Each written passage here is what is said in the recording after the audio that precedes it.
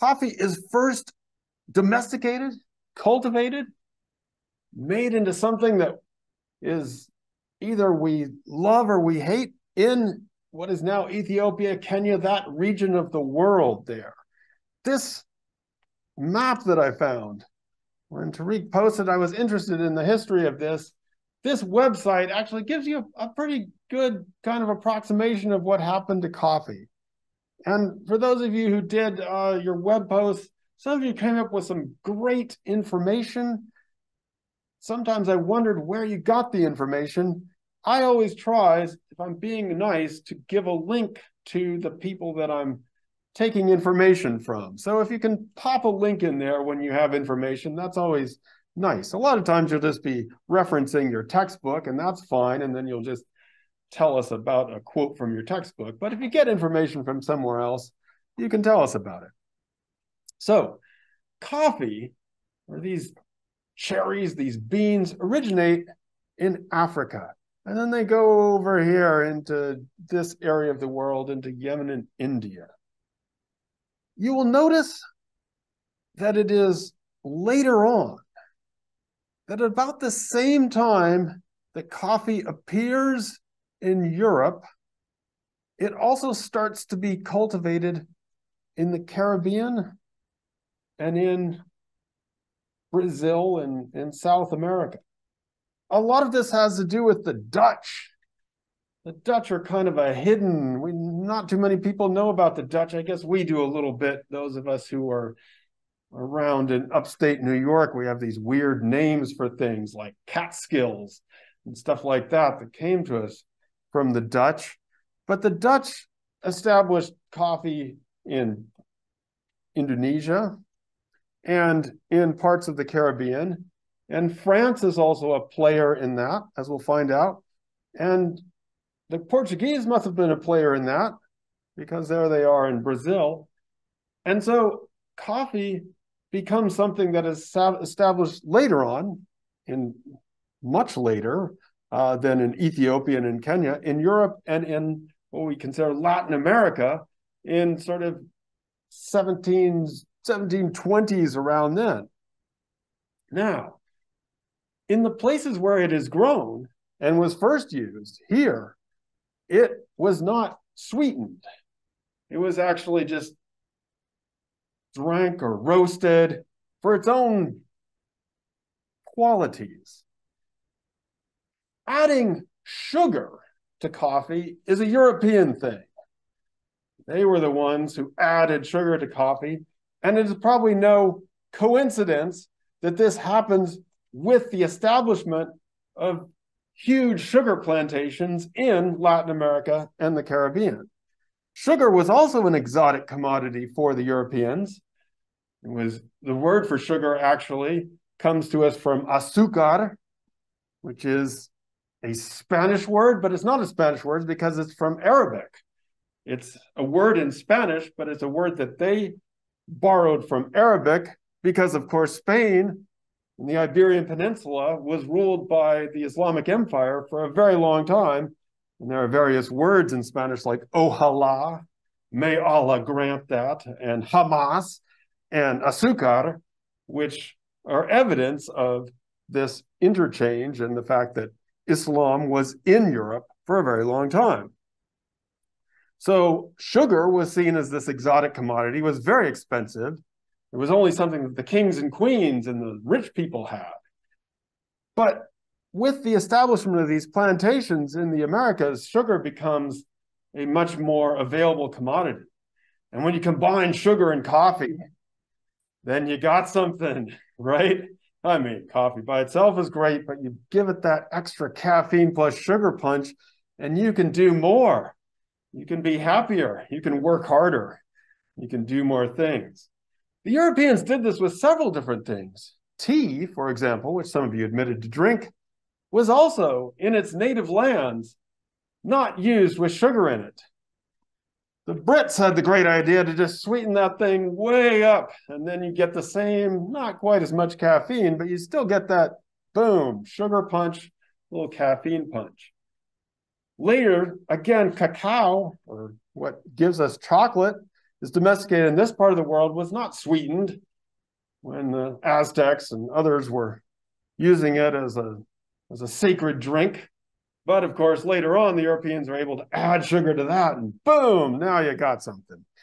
Got this new drink that you can use and you can work harder and you can get more out of people. I say this because every time we drink a cup of coffee, it's already a global commodity. And it's been global for at least 300 years, perhaps more. But and certainly in the form that we know it, this is a, a long thing. And so when we get coffee, we are participating in this global exchange with every cup we have. Louisa, you noted that these ingredients for coffee, like say sugar and the coffee itself, might come from where are they all from? It, it can vary on so many different levels because um, you know they can come from like the grocery store and then the grocery store gets it somewhere else and then you know it, it's kind of like um, hunting down like you're trying to hunt down like an answer that you might not even get the answer to. Um, that's kind of what I was getting at. Hunting down an answer that you might not get the answer to. Yeah, I mean, you know, and some people lie to you about where things are from. I just actually, oh, I remember this now. My coffee grinder, they said it was from Austria, but now I am participating in a class action lawsuit because I don't know even where they built it, but they charged me $7.50 more and said it was from Austria. And then it turns out they were lying to me. They were built it from somewhere else. So I hope I get my 750 back. Somebody caught them. Yes. Well, I believe a lot of the issue is there's a difference between raw goods and manufactured goods, where um, raw goods are usually taken from countries that don't make it into a finished product. They simply export, whether it be raw coffee beans or raw sugar cane or whatever else. And then they send it to a place like Austria that sort of mixes it all together in a factory and then you have a finished product. So it's kind of from both places, really. Yeah, I mean that's that's certainly true of a lot of things that there's this uh, you know, there's a kind of separation between the places of extraction and the places of where things get, you know, like chocolate, and then the Swiss get all with their machines and do their Swiss thing and make it into something. And that is true of many things. Curiously, with sugar, though, sugar is a really interesting commodity in the fact that you had to harvest it and process it on site, on the plantation, because if you didn't, it was going to lose its sugar content. So they actually had to make it into sugar or molasses or something so that it then could be shipped out. So it's an interesting process. A lot of, or some people, one of uh, an anthropologist named Sidney Mintz that I made Amy read in uh, the last time that we were together, um, claims, and I think with reason, that there were basically on these sugar plantations, they had to have a certain factory operation in order to turn that sugarcane into sugar, and that these factory forms predated the Industrial Revolution.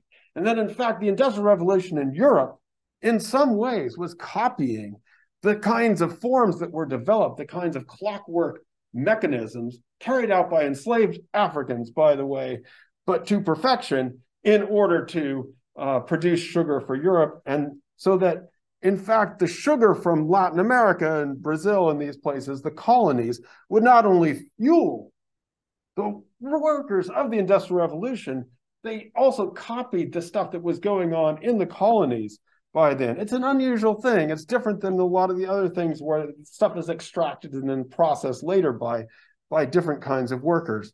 But uh, yeah, that's what happens. Amy, you said something about the coffee that we even get here or that it comes from somewhere else? It comes from three different companies from Peet's Coffee. Really? Uh, Peet's Coffee, which is from JC, um, upstairs. They get it from three different countries. One is including Guatemala, and they import it to the main station in uh, California, and then import it throughout the country. All right. Well, there you go. So, yeah, we have a global thing going on. Now, I already told you, so this is not a not a, a mystery anymore because we've been talking about sugar so much. But when it comes to people who were enslaved and dragged from Africa, almost the great majority of those people were brought to the Americas in order to process and grow and cut sugarcane. It was sugar is perhaps the major, perhaps the most. I think I might have to say the most. The, the crop that people have been moved around the most for is sugar. And so if you look, this map actually gives you kind of the scale of how things are going. If you look at Brazil alone, which is also, by the way, where we get most of the world's coffee, that's where approximately, if I'm not mistaken, at least around 4 million of the enslaved Africans were taken to Brazil, most of them to work on uh, sugar plantations. Several small islands of the Caribbean, like Jamaica, like Saint Domingue, got brought in more enslaved Africans than the entire continent of North America. We will later read about enslavement in the United States, which most people associate with cotton. But in terms of the, the vast majority of enslaved Africans, they were brought to the Americas for sugar. The United States, and we'll, again, we'll read about this, it, it's, we did not the United States did not import a large number at the outset. Like I said, there were tiny islands in the Caribbean, which each got many more enslaved Africans than the United States. What was peculiar about the enslavement in the United States is that, and this is, uh, know, I actually had a chance to listen to this book on Audible, uh, is that people figured out a way that they tried to extend from generation to generation enslavement and basically breed more enslaved persons. A particularly sick form of enslavement, which other people didn't weren't able to do in other parts of the world. Most of the people who were brought into these other countries were brought to work, and the average lifespan of a person who was brought to work on a sugar plantation was seven years. And so, although demographically people did survive and people did reproduce, they did not necessarily reproduce as enslaved persons in the same way they did, were that was used in the United States, which did not import as many, but did try this whole like breed and sell, which is, like I said, particularly insidious and perhaps has something to do with the way in which this is part of our national uh, psychology in, in ways that it may not be obvious in other parts of Latin America. But like I said, in terms of how this happened, in terms of the, the, the trade, these were the these these were the places where the bulk of people went to. This is people cutting sugarcane, which was one of the hardest, most deadliest jobs uh, work that you could do, and that's why people were brought in almost continuously. This is a, a rendering of the plantations of Saint Domingue, one of the most profitable colonies that the French had. That's why they get the name Saint Domingue, a small island in the Caribbean producing as much sugar, coffee, indigo, and cotton as Brazil and Jamaica combined in its heydays. This was the jewel in the crown of the French Empire. Napoleon loved this place because they gave him a lot of money from all these plantations and stuff. Of course, where Saint Domingue, yes, is Haiti. The second independent country in the Americas.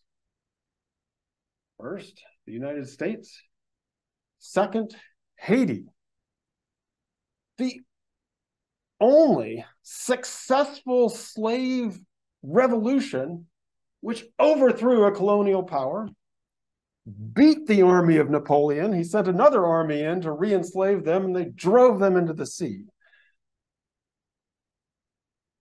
An incredible feat on an incredible place that many people don't even know about. I mean, if I ask what's the second independent country in the in the Americas, most people wouldn't know. But it was was crucial to the other countries in Latin America becoming independent. Was also one of the only places in the world where the enslaved persons threw off their chains and started their own country.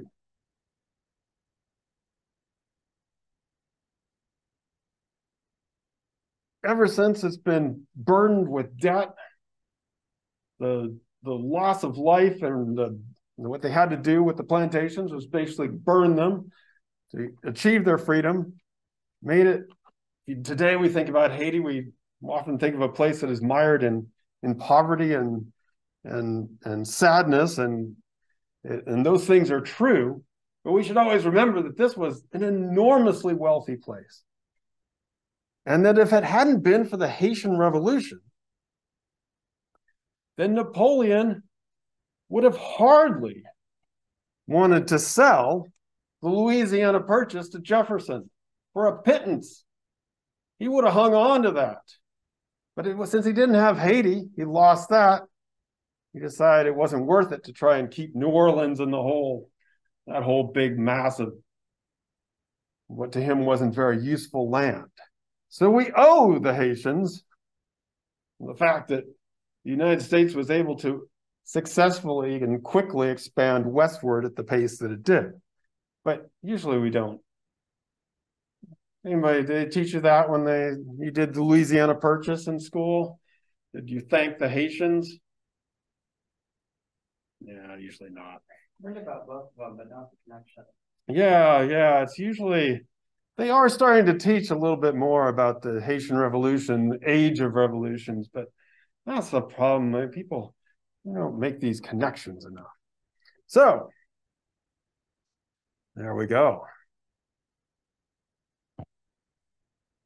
Now, so the first answers I got from the people who like coffee, like me, but I have to say that in the real world, the coffee haters are correct because of just all the suffering and stuff that coffee brings to us. Right, Josie? Who has to work for this coffee? I mean, I, I don't necessarily dislike coffee for that reason. I dislike coffee because I don't like the taste of it. But yeah, that too. That too. So we have all the people that are laboring to bring us the coffee in these places and oh. And Paige, if you had to get your coffee from Dunkin', where's that coffee coming from?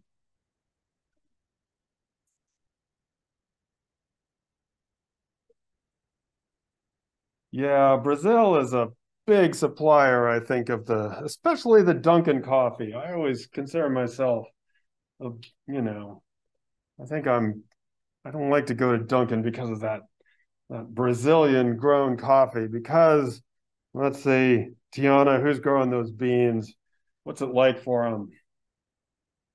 Um, not that good when you're like the farmer who's actually harvesting them because they get a lot of injuries, including like sunburns and bites and dangers from like the chemicals and stuff that treat the coffee beans, but also like wages usually aren't really fair because of like the power dynamic and they'll, they'll kind of accept anything as long as they're getting paid and that allows for them to be taken advantage of and usually get paid really low, so they're not having like a good quality of life.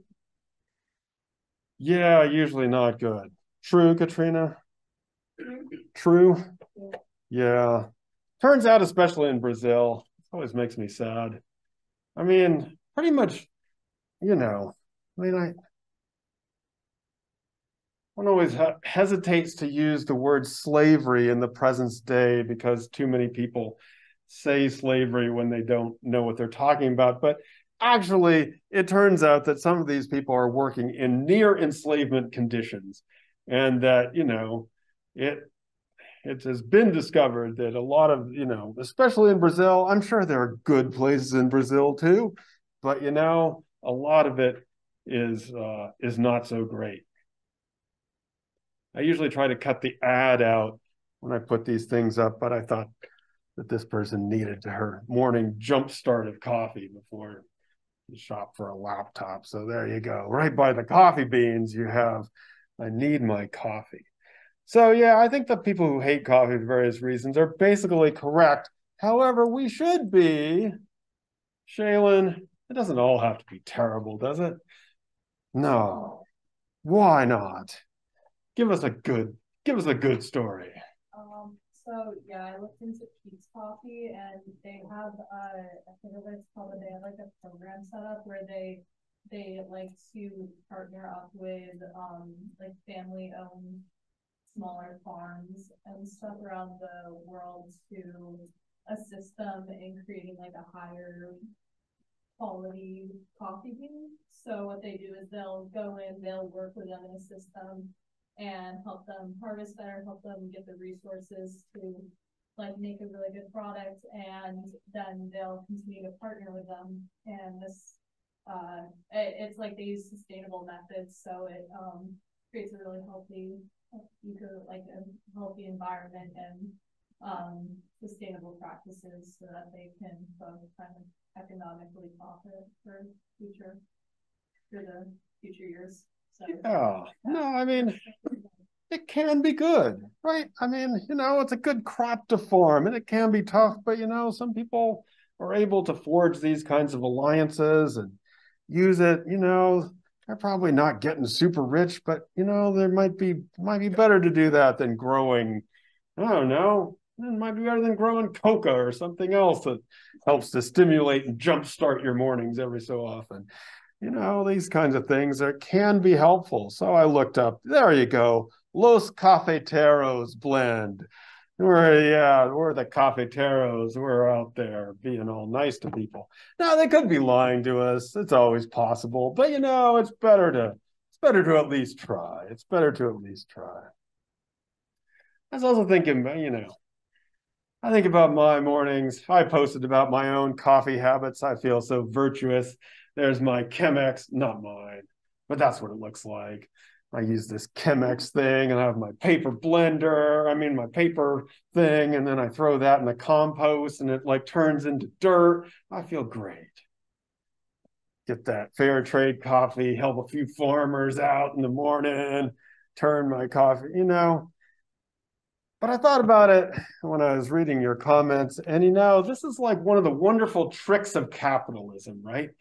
You spend so much time focused on the aesthetics of the end product and your little food and wine in your Chemex container, and you're you feel so good when you throw that in the compost and it turns into dirt. But the fact of the matter is, right, that's like the end, the little end part of the chain. I'm not doing that much good here.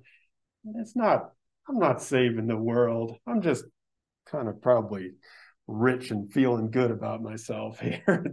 I don't have to go down to Dunkin' so I can buy this overpriced coffee and feel like I'm doing something good in the world. And it turns out I was just reading, by the way, I don't want to make us sad, but it turns out that this recycling stuff that we do, eh, it's better than not, but it's not a big deal in terms of like what you do in terms of your consumption if you wanted to help the planet the most in the kitchen, in terms of what you eat, drink, and your practices, what's the best thing? What's the most effective choice that you could make in your in your kitchen? If you're purely going by the planet, you wanted to help the earth. What would you do? Oh, people are scared what's the most effective food choice or cooking practice that I can do in my own life? Don't worry, I'm scared too. I don't want to do it. It makes me sad. I don't even want to say it because I'm not going to do it. Yeah. make sure you're not eating too much? Um, well, I can eat as much as I want of uh, kale, and everybody will be happy. I could overeat on kale. I can stuff myself with kale, and I'll be fine. So it's not really the quantity. Yeah, It's like getting like locally sourced product. it's better if you can get things locally. That is probably better because you're cutting. Yeah, I mean, you're cutting down on your transport costs and all those things. That's probably if I can. But that would make me happy too. I'm talking about something that's going to make me sad, something I would have to reduce or cut out that actually will have the biggest benefit. Oh, ah, oh no, I'm okay with the coffee. The that's that's still that's still a, a plant, you know. There's still plants growing. They're helping the the earth, even the sugar that has to be grown, and th- those are not always the nicest things, but that's still okay because it's a plant. Maybe I'm, yeah. Oh, yeah, no, I don't want, yeah, plastics I do would like to reduce. That's true. But look at me, I have that glass thing in the paper. I'm good on plastics. And you do want to reduce plastics, but there's something even bigger than this. And like I said, it's making me sad. Oh, yeah, see, most people don't actually know. I just read it today. Reducing meat consumption. Oh. Reducing the consumption of animal products because these plants are, you know, helping us out with their little plant stuff. But the animals just go in and eat all these plants, and the amount of plants it takes to feed all the animals, and then they're belching and they're pooping and they're doing all this stuff, especially if they're not local cows, if they're coming from far away. Then, yeah, so that's the most effective thing I can do. Like I said, it, it makes me sad and I'm not going to do it. But if you really want to if if that's the in the kitchen that's your most effective local choice because because alex what's happening what hap- what's happening with the the coffee and the climate and all that stuff So I, I only looked to it briefly, but it was pretty interesting. So, um, because of climate change, a lot of the crops are dying because of heat or too much rainfall. So they're not able to produce as much, so now it's costing more. Because what is being produced, they have to pay the people who are producing it, they're not making enough to make a big profit, so it's, the prices are rising. this is a bummer. Yeah i mean it's uh I, yeah i looked at this study and it said that by 2050 which is not that far away that there may be as much of a reduction of by half of the land you know the land that would be suitable for growing coffee now, they said that maybe new areas could come on. You could maybe grow it higher than they used to be able to grow it, maybe further north. Grow some coffee up in Vermont. Maybe Oneonta will become a coffee grower. I don't know. Hopefully not, because that would, uh, yeah, that would be that'd be rough. And I think Alex, you mentioned also the bugs. I mean, you know, that's the problem with climate change. You never know what's going to happen. All of a sudden, you think it's just getting warmer, but then the bugs, the bugs are able to come out.